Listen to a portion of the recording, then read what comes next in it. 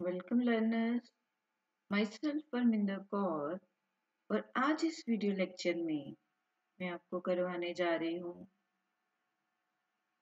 एक important topic that is comparison between electronic signature and digital signature dear learners अगर आपने मेरे channel को सब्सक्राइब किया हुआ है तो आप जानते होंगे कि मैं आपको ऐसे ही जो इम्पोर्टेंट टॉपिक्स हैं, जो कॉम्पिटेटिव एग्ज़ाम्स में आपकी हेल्प कर सकते हैं, वो आपको करवाती हूँ। Let's discuss first difference between electronic signature and digital signature electronic signature को हम ई सिग्नेचर भी बोलते हैं। And it is used for verifying a document. Document को वेरीफाई करने के लिए ई सिग्नेचर को यूज़ किया जाता है बट अगर हम डिजिटल सिग्नेचर की बात करें, ये एक सिक्योर सिग्नेचर है, जो इलेक्ट्रॉनिक सिग्नेचर के साथ वर्क करता है but it depends on the public key infrastructure जैसे कि आप देख रहे हो जो डिजिटल सिग्नेचर है it is a secure signature that works with an electronic signature and relies on public key infrastructure. तो हम कह सकते हैं कि जो डिजिटल सिग्नेचर्स हैं, वो सेफ़ हैं। क्यों? Because they include private key and public key for encryption and decryption but मैं अगर इलेक्ट्रॉनिक सिग्नेचर की बात करूँ तो इलेक्ट्रॉनिक सिग्नेचर जो हैं they are not safe as they are not encrypted safe क्यों नहीं है? बिकॉज़ वो एनक्रिप्टेड नहीं है.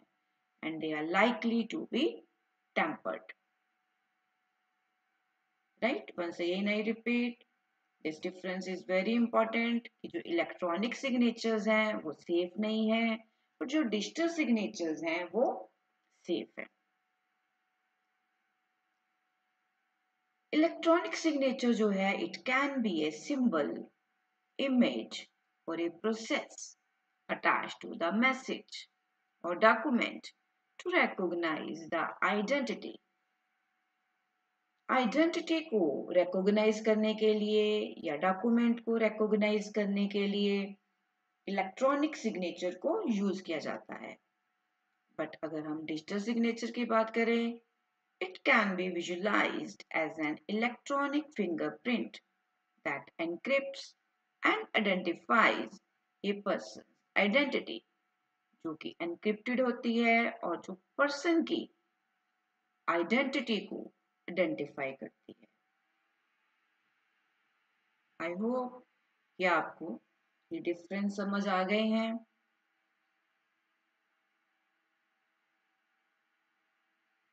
द नेक्स्ट डिफरेंस इज़ जो इलेक्ट्रॉनिक सिग्नेचर्स होते हैं they has no expiry or validity period जो डिजिटल सिग्नेचर्स होते हैं, उनको इशू किया जाता है विद वन ईयर वैलिडिटी या टू ईयर वैलिडिटी के लिए। या आप कह सकते हो कि maximum digital signatures three years के लिए जो है वो इशू किए जाते हैं।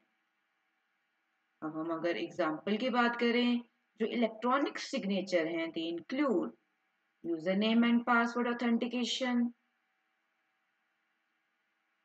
digitize hand written signature ये किसकी एग्ज़ाम्पल है?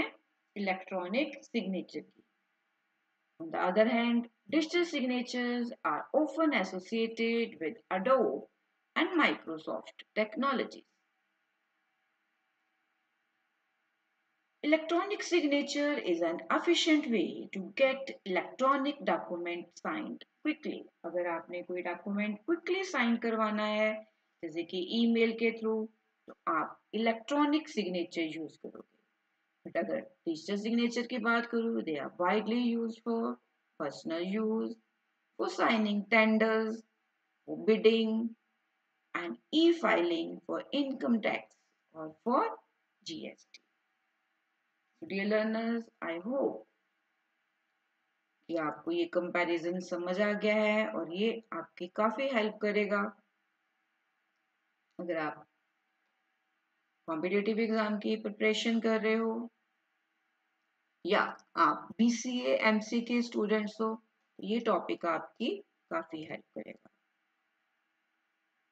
इस वीडियो लेक्चर में इतना ही। Thanks for